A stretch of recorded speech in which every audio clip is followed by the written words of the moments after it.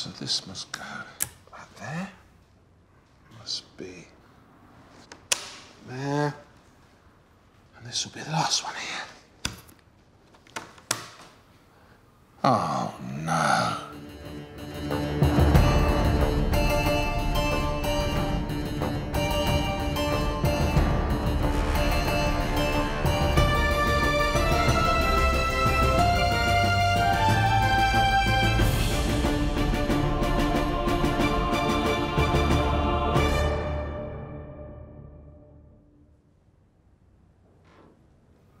Who do you think that is? I'll give you a clue. It's a famous English king. So who is it? Come on, no Googling. Who is this stern and bony monarch? Now, you smart people out there, the ones who come here to the National Portrait Gallery, you got it straight away, I know. The giveaway, of course, is the nose. The way it's flattened. There's something walrusy about it. But some of you didn't get it, right? And the reason you didn't recognize immediately that this is Henry VIII is because this isn't the Henry we've all got up here in our imaginations. The Henry who had six wives, who took on the Pope, who destroyed the monasteries. That Henry didn't look like this. He looked like this. Now that's what you call Henry VIII. Look at the way he stands, like a Tudor gunslinger at Ye OK Corral. The mighty torso, the sheer width of the man. This is a king who could change history. That's the Henry who lives up here in our thoughts. Henry the Terrible, the widest king in Christendom. And he is the creation of a particularly important artist. An artist who I would argue didn't just record British history, he actually changed it. He was a funny little man, a German from Bavaria, a genius who looked like a farmer, called Johannes or Hans Holbein. This is Holbein's great gift to the world. The iconic image of Henry VIII, which everyone recognises. And Holbein didn't stop there. How do we know what Sir Thomas More, that conscienceful man for all seasons who stood up to Henry, looked like? Because of Holbein. How do we know what Henry's unfortunate queens looked like? Because of Holbein. And how do we know what Thomas Cromwell, Henry's go to man for destroying the monasteries, really looked like? Because of Holbein. Holbein didn't just describe Tudor England, he gave it an extraordinarily active presence, made it feel real. And by making Tudor England immortal, he changed history. Because a slab of history we can envisage so clearly will always trump all those other slabs of history we can't envisage at all. Why are we so obsessed with Henry VIII and his damned wives? Because of Holbein.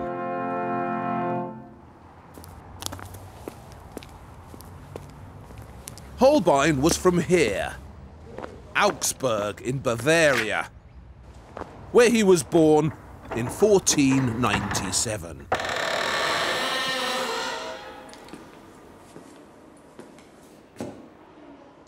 His father was a painter and a really good one, Hans Holbein the Elder.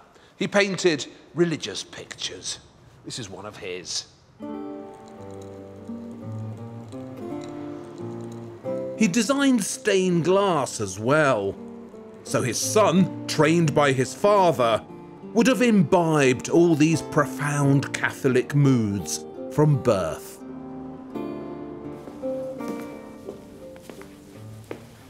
Here at the museum in Augsburg, they've got one of Holbein the Elder's finest pictures. This is the Basilica of St. Paul, as it's called, an altarpiece which tells St. Paul's story. Over here, he's having his head cut off on the orders of the Emperor Nero. Apparently, the head bounced three times when it hit the ground, causing three miraculous fountains to spurt from the earth. But what I really want to show you is this scene on the left. Because that old man there with the straggly beard, that's actually Holbein the Elder. And below him are his two sons Ambrosius, the older one with the curly hair, and next to him, little Hans Holbein, future painter of Henry VIII.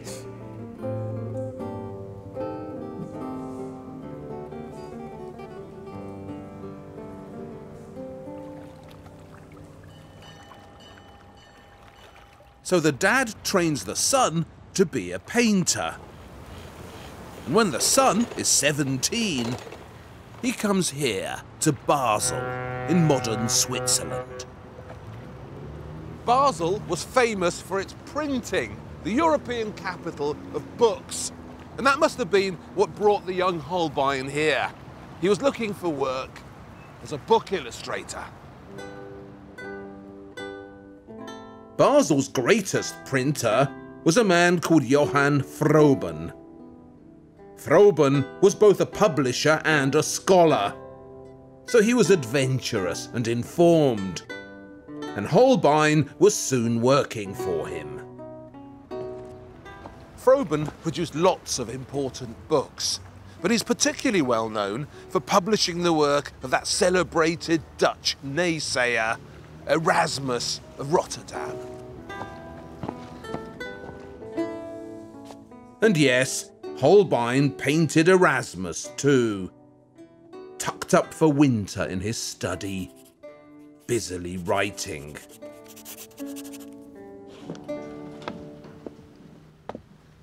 Erasmus actually came to Basel specifically to work with Froben. And it was Froben who published the best edition of Erasmus's most celebrated work. A hilarious send up of the modern world called In Praise of Folly. Just about everyone gets a kicking in In Praise of Folly.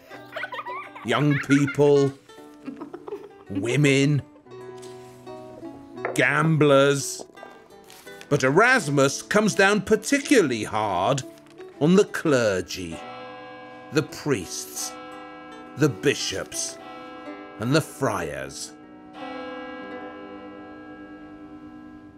Holbein was just 17 when he got hold of a copy of In Praise of Folly, and in the margins, he drew all these funny little drawings.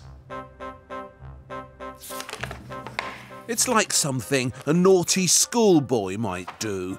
Draw all over a famous book. This chap here is walking along the road when he sees a beautiful woman. And he's so busy staring at her, he steps into a basket of eggs. Ah.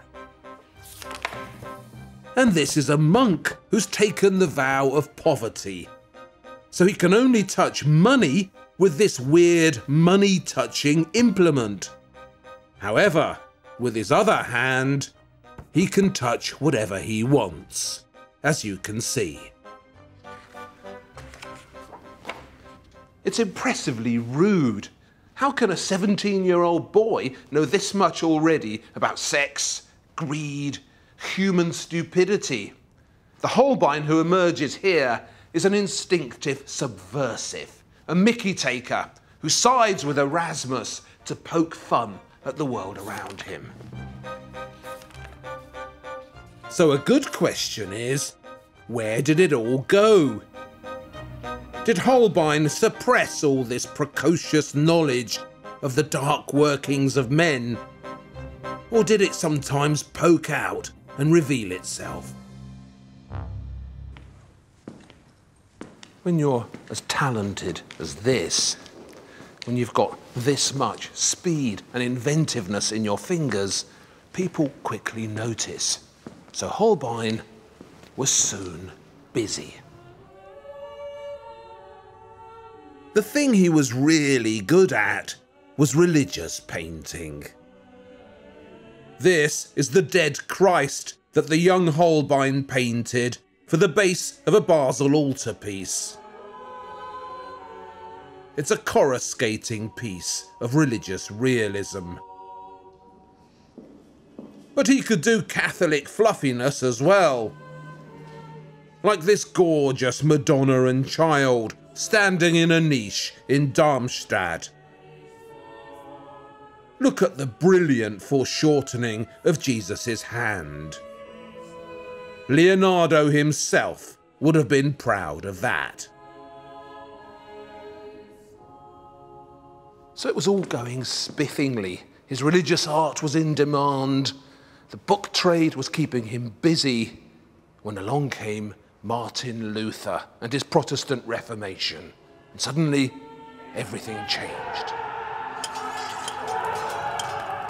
In a Lutheran world, there was no longer much demand for Catholic Madonnas standing ornately in golden niches.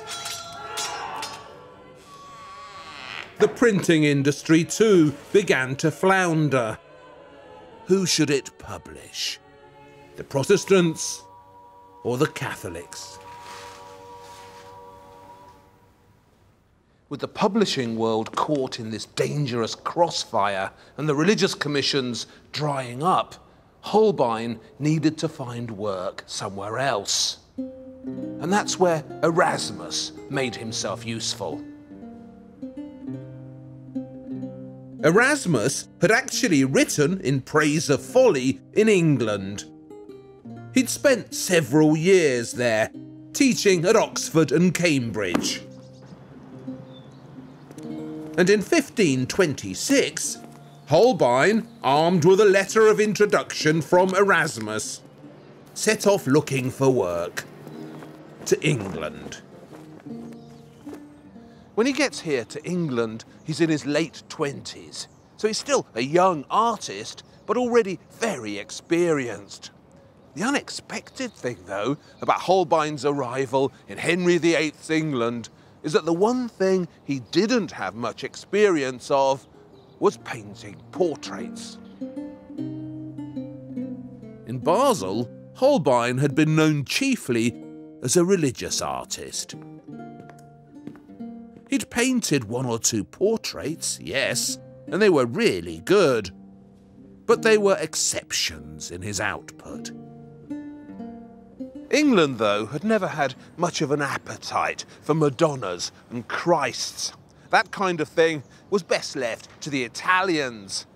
In England, the art form that was most esteemed and which seemed most in tune with the national psyche was portraiture. The staircases of England were lined with ancestors showing off their bloodlines.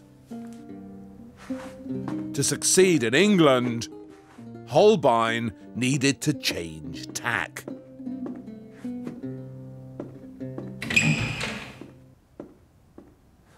Erasmus had given him an introduction to one of the most influential men at the court writer, statesman, theologian, and, as it later transpired, Catholic martyr, Sir Thomas More. Holbein seems to have spent most of his first year in England living in More's house in Chelsea.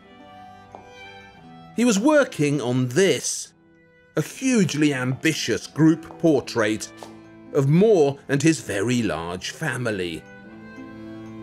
Unfortunately, this is a copy, and not a very good one.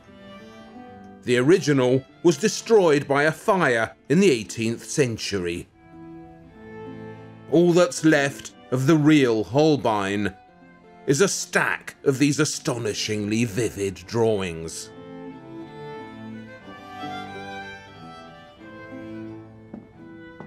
Oh, and there is something else, of course.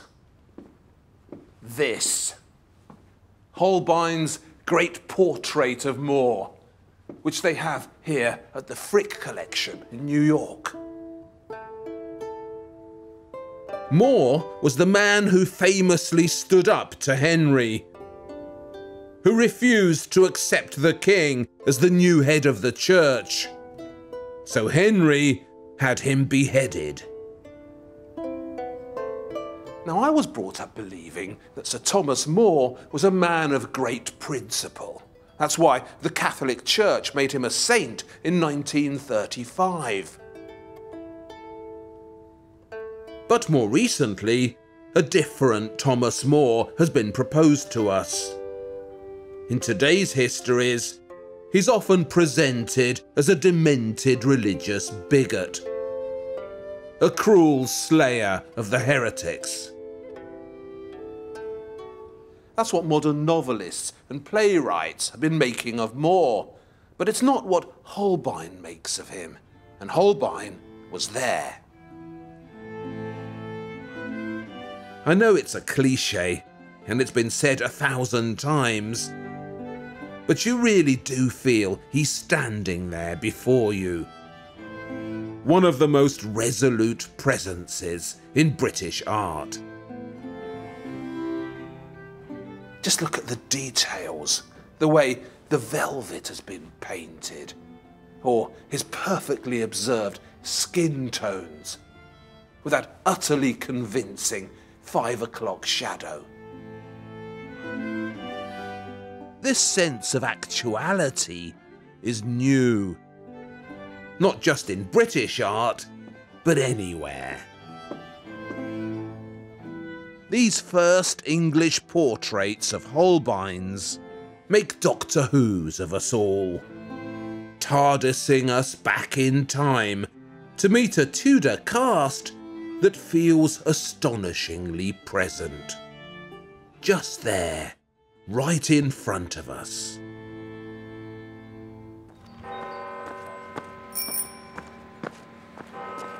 Holbein's first visit to England lasted just two years before the fates conspired to bring him home to Basel.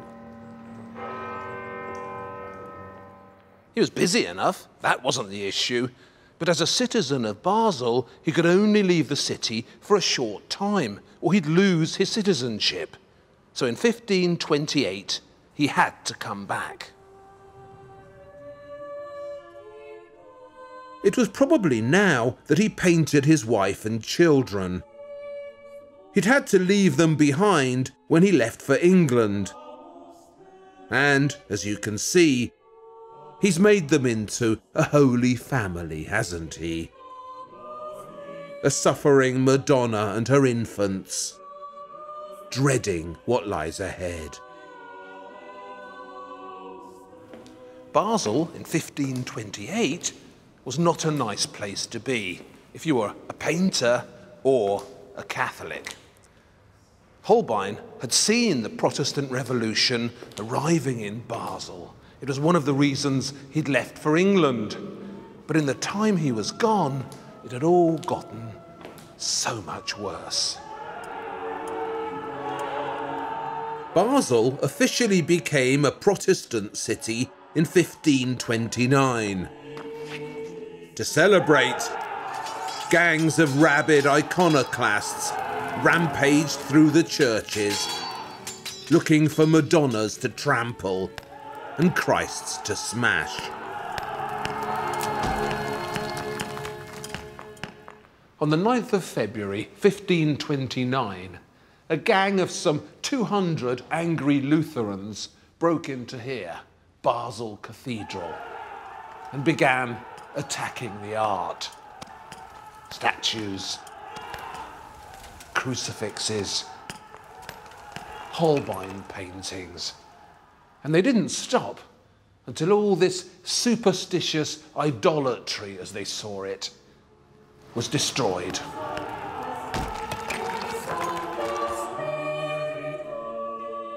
There's no official record of Holbein's own religious views. Not surprisingly, he kept them to himself. But he was born a Catholic in very Catholic Bavaria.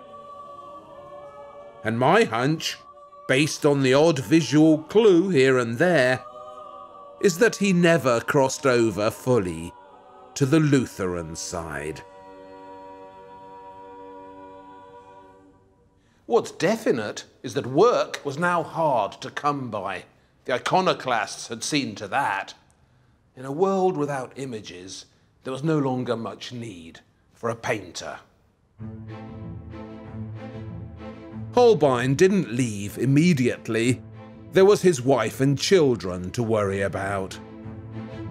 But in 1532, having put his affairs in order, he left Basel again and set off once more for England. And this time he'd be working not just in royal circles, but for the king himself. And what a king he was. Holbein came to England because he was following the money, as artists do, getting away from Basel, getting away from the iconoclasts. He came here looking for prosperity and peace. Instead, he found Henry VIII. And for him to be here while Henry beheaded his wives, took on the Pope, brutally enforced his new religion, is so damn fortunate. It almost feels preordained.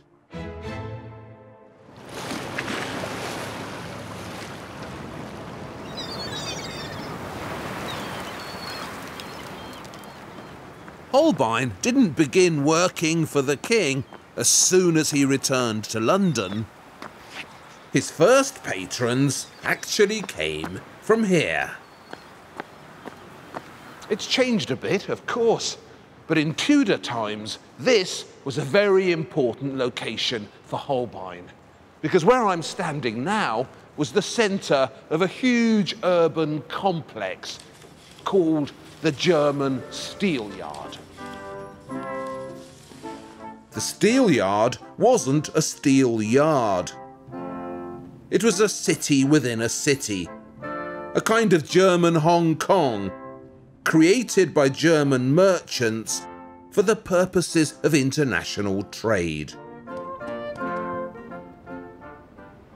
It had been here since 1320, growing bigger and bigger.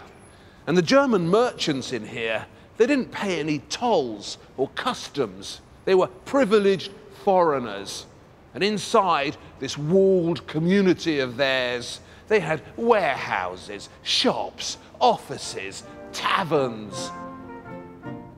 So this was a home from home for Holbein. And when he returned to England in 1532, the rich German merchants of the Steelyard were his first customers. This handsome young chap, who now hangs in Windsor Castle, is Derek Born from Cologne, who supplied the court of Henry VIII with military equipment for the army.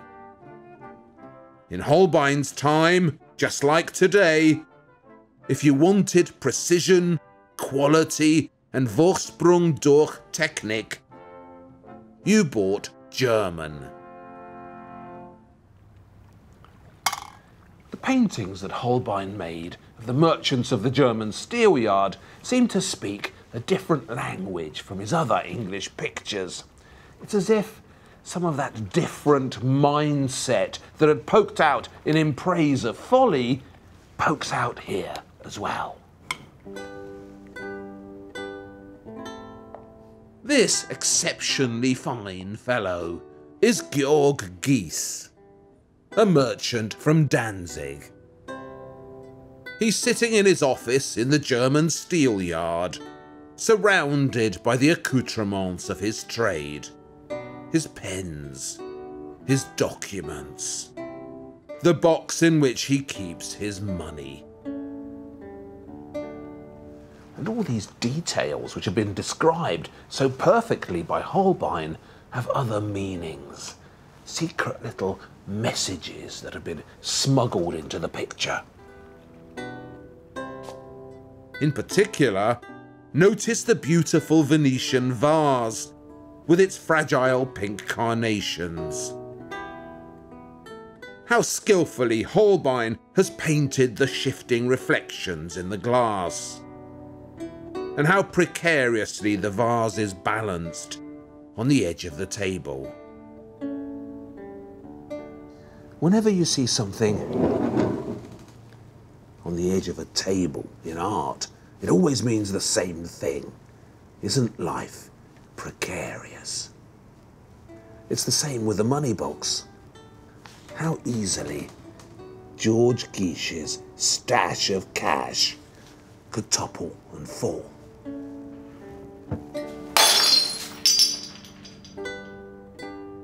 The precarious vase, the lovely reflections, are all brilliant Holbeinian reminders of the shortness of life. Just like the reflections in the glass, all this can disappear in an instant. It's a message that's always relevant. But it was particularly relevant in the shifting, fracturing England of Henry VIII.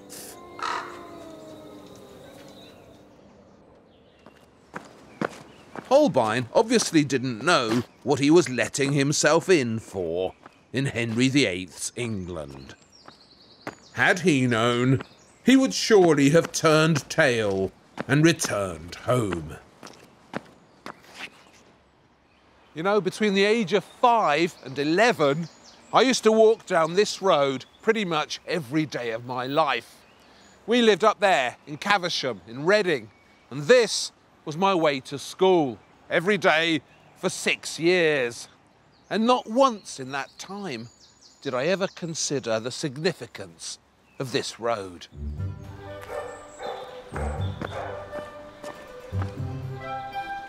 My school was down here, down the alley. I used to love walking down here.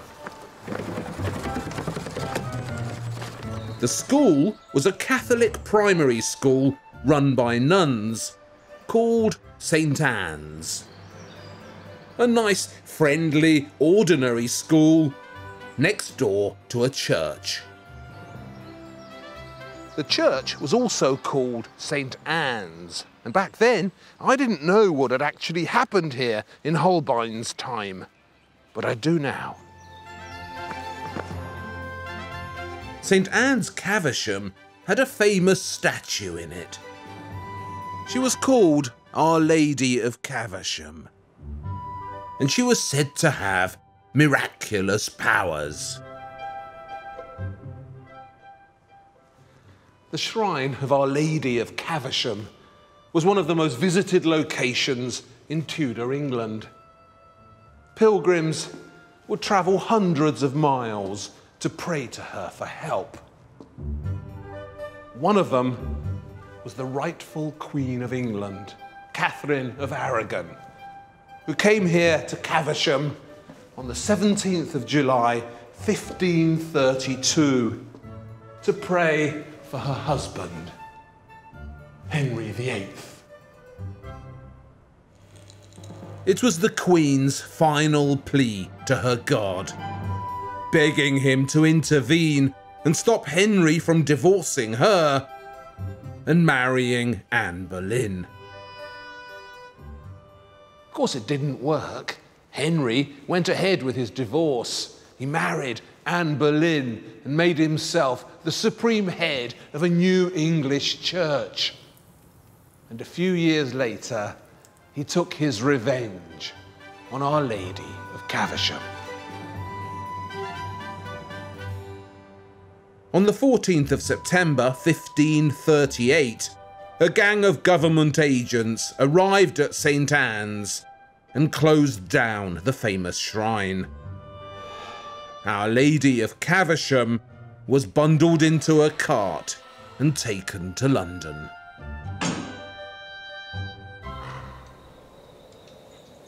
The gold and the silver in which the statue was covered were stripped off and sent to the king. And the actual wooden statue, well, that was burned. The man who organised all this destruction and who jotted off a quick note to his agents to congratulate them on a job well done was, of course, Cromwell. Thomas Cromwell. I bet you were wondering when we'd get to him. Now, when I was at school, Cromwell was recognised by everyone as a terrible man. Henry VIII's enforcer, the destroyer of the monasteries. In recent years, though, there's been this big reassessment. And the modern image of him, the one you find today in plays and books, is of a decent and brilliant man who's trapped in a difficult situation.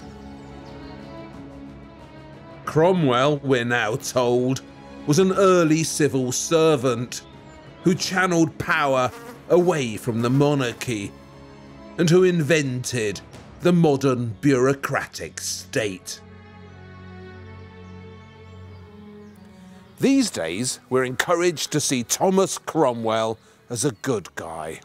But in this film, I'm not going to do that for two important reasons. This is one of them. What Cromwell did to Our Lady of Caversham, the ruination he visited upon England's artistic past, is unforgivable. And the second reason for not whitewashing Thomas Cromwell is this Holbein's portrait of him. Just look at him. What a hard and charmless presence. Those piggy eyes, that blank expression. Cromwell is surely the least attractive sitter in the whole of Holbein's art. This was painted at the outset of Cromwell's campaign against the monasteries in 1533. It shows him in his office with his quills and his documents, inventing the modern bureaucratic state. According to various conspiratorial whispers doing the rounds, Cromwell actually used Holbein to spy on the German community in the Steelyard. That's how Holbein ended up working for the English court. It's certainly true that Cromwell had spies everywhere. But is Holbein really thanking him for his assistance in this grim portrayal? Was he really the good guy? And was Thomas More over here really the bad guy? Fortunately, because of Holbein, who was actually there who knew them both, who happened to be the greatest portraitist of his times, here at the Frick Collection in New York, we're in a perfect position to decide. So, who is the goody here and who's the baddie? Where Holbein stands on the matter is surely pretty obvious.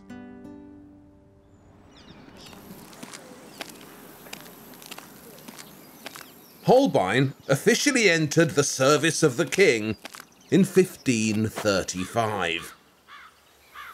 He was paid £30 per year, which, even in those days, wasn't very much. And since this was the court of Henry VIII, there were immediately problems. Holbein's first supporter in England, Sir Thomas More, had risen to the rank of Lord Chancellor, but he refused to accept the King's new position as head of the church, so Henry had him beheaded. Poor Holbein had no choice, really, but to disassociate himself from his first supporter. He needed a new patron, and at some point, probably with the connivance of Cromwell, he managed to get on the good side of Anne Boleyn. How did he do that? With his art, of course. There's a drawing in the Basel Museum of a magnificent gold table fountain he designed for the king's new wife.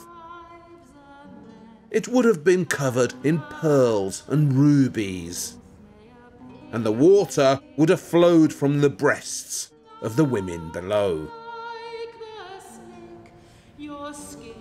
So he wasn't just the court portraitist. To earn his £30 a year, Holbein had lots of duties at the court. He designed the royal jewellery and the royal pendants, the royal cutlery and the royal daggers. He even designed the royal fireplace.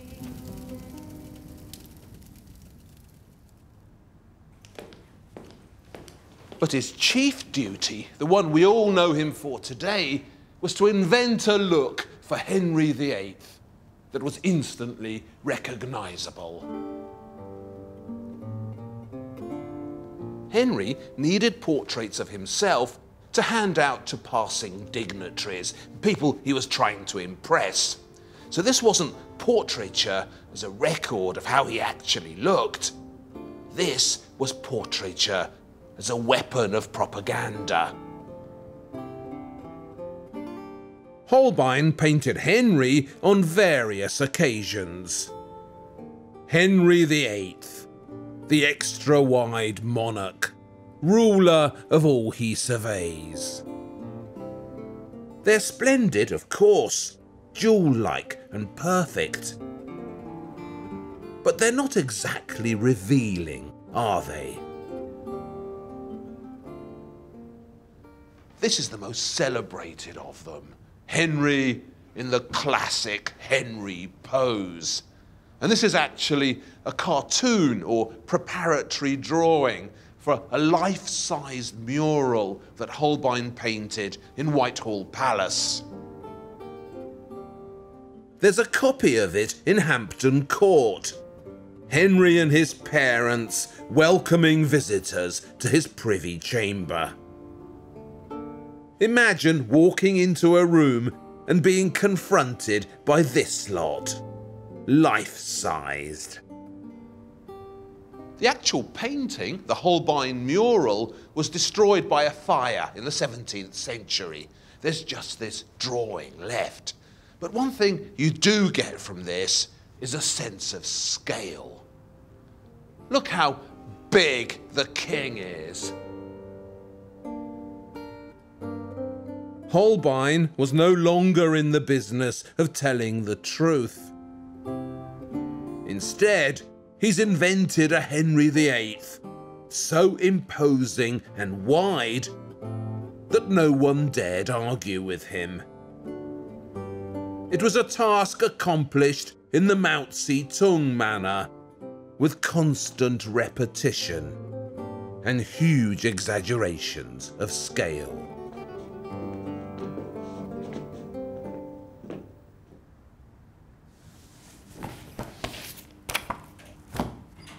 By the time the Whitehall mural was painted in 1537, Anne Boleyn had had the Henry treatment. Accused on trumped up charges of incest, adultery, and witchcraft, she was beheaded on the 19th of May 1536, while Cromwell watched from the wings. The next day, Henry was betrothed to one of her maids in waiting, the pale and placid Jane Seymour. Jane Seymour would actually be standing about here in the Whitehall mural, in the bit that's missing. But don't worry, we know exactly what she looked like because Holbein has also left us a portrait of her. It's a lovely thing and hangs now in Vienna in the Kunsthistorische Museum. But here too there's a distance, a lack of touchable humanity. A beautiful queen in beautiful clothes. She's like one of those precious pendants that Holbein designed for the court. A human jewel.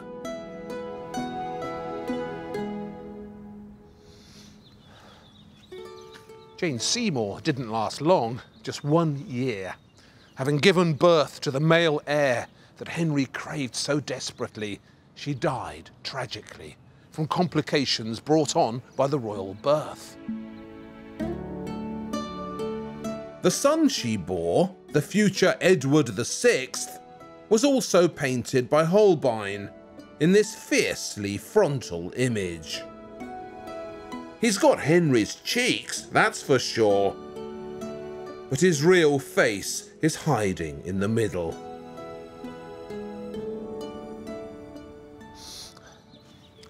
With the death of Jane Seymour, that was three wives down and three to go for Henry.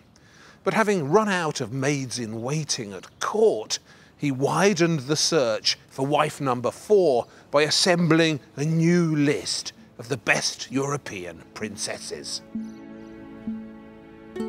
Poor Holbein found himself involved intimately in this hunt when he was sent across the channel to paint portraits of Henry's prospective brides. So the king could choose the prettiest. Welcome to the Hans Holbein Dating Agency. The first princess, Christina of Denmark, was just 16 when Henry approached her. Christina was famously beautiful. Just how beautiful you can see immediately from Holbein's superb full-length portrait of her. Although she was so young, Christina was already a widow having been married briefly to the Duke of Mantua. That's why she's wearing black in Holbein's towering likeness. Apparently, Holbein had just one sitting with Christina in Brussels, which lasted three hours. But the drawing he produced in those three hours, with those lightning fast fingers of his, was all he needed to paint this. It's his finest and most ambitious female portrait. Not surprisingly, Henry wanted immediately to marry Christina of Denmark. Who wouldn't? But Christina was lucky. She turned him down.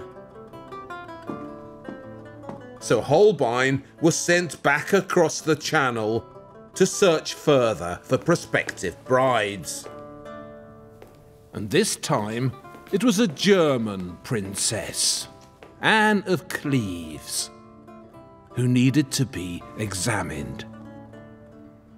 Interestingly, Anne of Cleves was painted on paper, presumably so the picture could be rolled up more easily and taken back to England.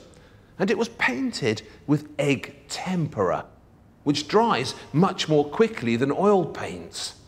So this was done in a hurry. It's a peculiar picture. Look how she stares straight out at us. You can't look natural staring like that. Holbein's art was beginning to stiffen. The king didn't mind. He liked Holbein's portrait of Anne so much, he married her. But the marriage was a famous disaster. When Henry saw what she really looked like in the flesh rather than in Holbein's portrait of her, he found her, and this is his word, not mine, repulsive. So, the marriage was never consummated and quickly annulled. But at least Anne of Cleves got out of it alive. Not everyone was as fortunate. Cromwell, who'd sent Holbein to Europe to paint Anne, was blamed for the mistake. And a few weeks after the wedding, he was accused of treason and beheaded. Holbein had fetched up in a historical nightmare. This is Catherine Howard, wife number five. She lasted just over a year before Henry got crazily jealous again. And she too was beheaded. As for wife number six, Catherine Parr, there is no Holbein portrait of her, so we have no idea what she looked like. One generation goeth, and another generation cometh, and the earth abideth forever. Ecclesiastes. Holbein's most famous painting, in the National Gallery in London, is usually called The Ambassadors. But that's just its modern name. It's only been called that since the end of the 19th century. A more revealing and more accurate name would be something like Don't worry, it'll soon be over. The Ambassadors shows two of Holbein's most suave sitters. He is Jean de Dinteville, French ambassador to the court of Henry VIII. And this is his French friend, Georges de Selve, Bishop of Lavaur. So these two commissioned the picture, and now they're standing there, leaning casually on this shelf here, packed with all these symbols. Interestingly, and very relevantly, we know exactly how old they are because Holbein's put it in the picture. Over here, on de Dinteville's dagger, it says et sue 29. He is 29 in Latin. And up here, on this book, on which de Selve's leaning, etati sue 25. He is 25. So, an ambassador who's 29 and a bishop who's 25. Now that's young, isn't it? There. Lots of complex meanings have been proposed for the ambassadors. Trying to understand the picture has become a mini industry. Most of the mystery has centered on this thing here, the famous Holbein skull, which is distorted so heavily you can only see it from the side, from over here, and from pretty high up.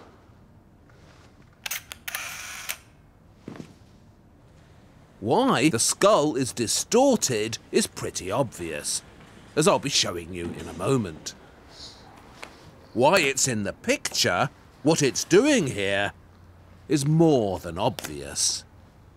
It's completely unmissable. Here, I'll show you. Oh, and you also need to notice that crucifix hidden behind the curtain at the top. Because that is the most important symbol in the picture.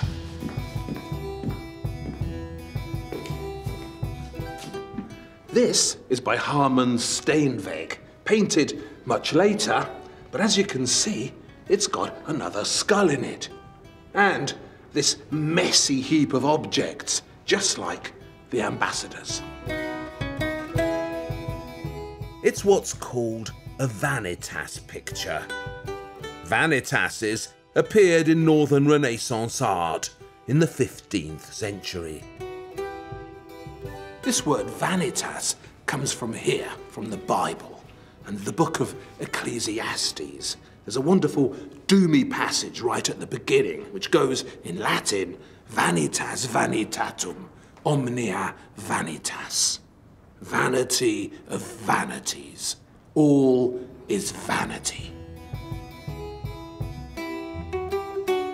This, though, isn't about vanity in the modern sense. All those TV presenters looking at themselves in the mirror. This is biblical vanity, where nothing lasts forever.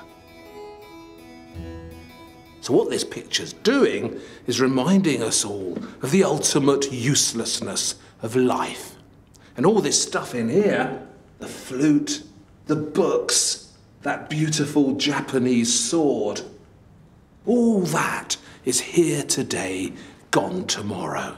Because what awaits us all, where we're all heading, is here.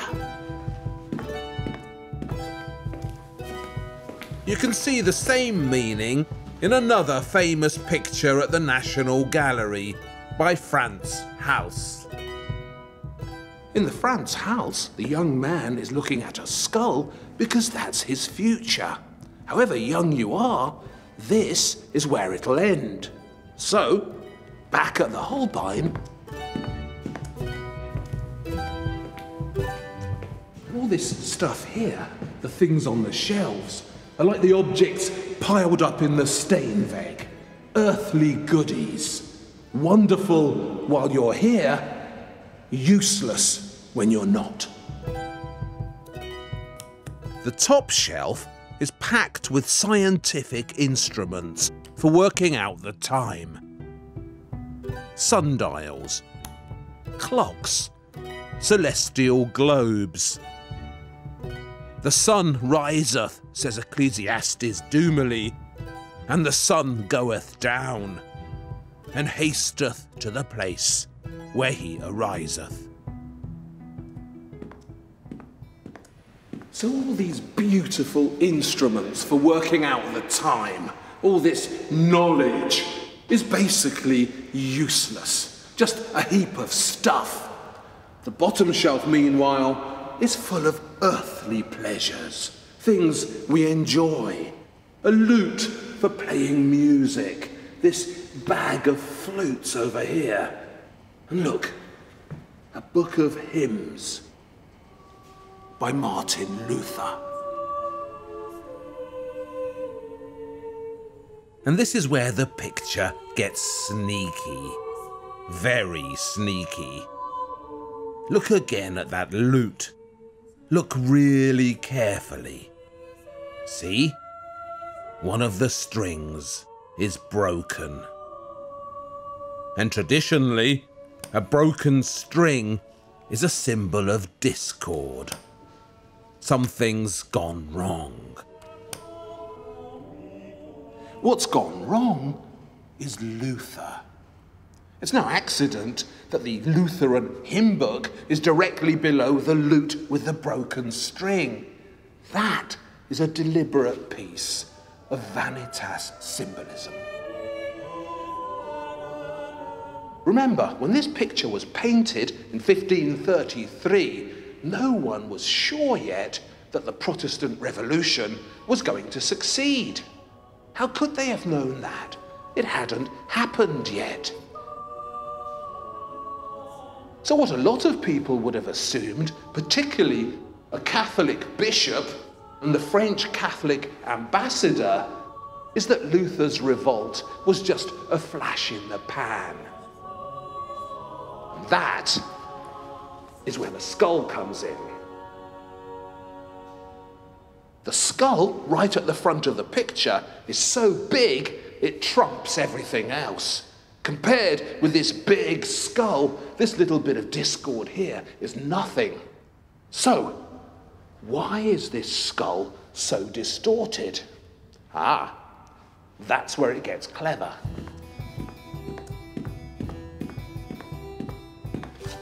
This is Boy Bitten by a Lizard by Caravaggio. So it's another young man, and the lizard is biting him because the lizard in art is traditionally a symbol of old age. And to amplify that meaning, that life is short, very short, Caravaggio's also included this beautiful reflection in the vase.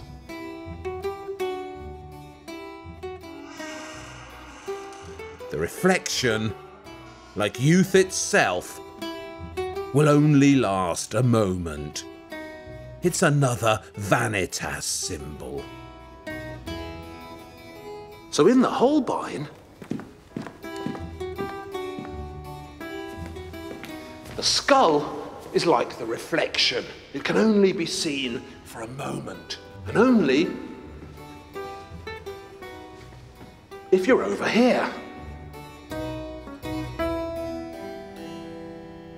I reckon this must have been hanging in a room that you entered from the side, from over here. And when you looked over, you saw the skull. And that was a shock. But then, when you saw the picture from the front, the skull wasn't there anymore. It was gone. Because the skull, death itself, is just another vanity. Like the Lutheran hymn book, like the broken string, like the lifetimes of the bishop and the ambassador. Death means nothing in the end. It's just another illusion.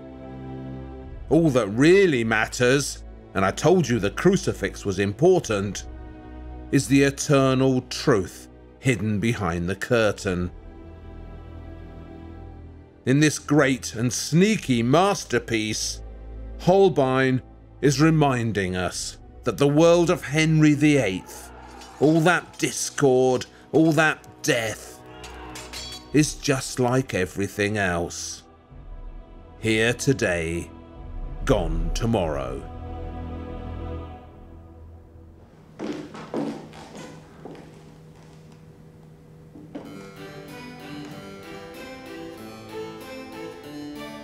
Holbein himself didn't last long. He died in 1543 from what they called the sweating sickness, the plague. He was 45. He left behind some of the greatest portraiture of the Renaissance. A Tudor cast so vivid you can feel their breath on your cheek.